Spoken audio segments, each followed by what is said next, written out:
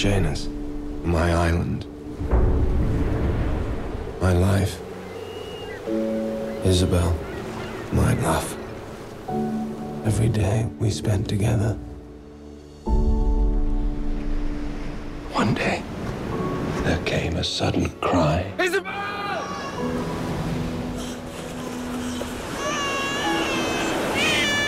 a girl.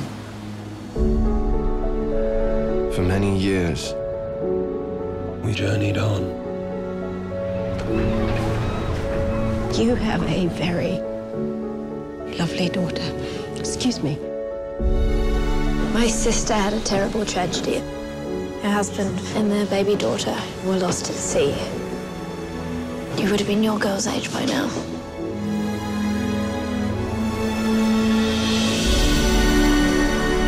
She doesn't belong to us.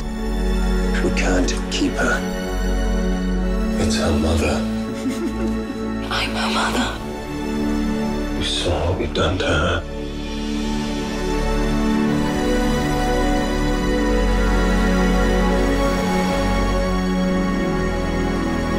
One day, this won't feel like a dream.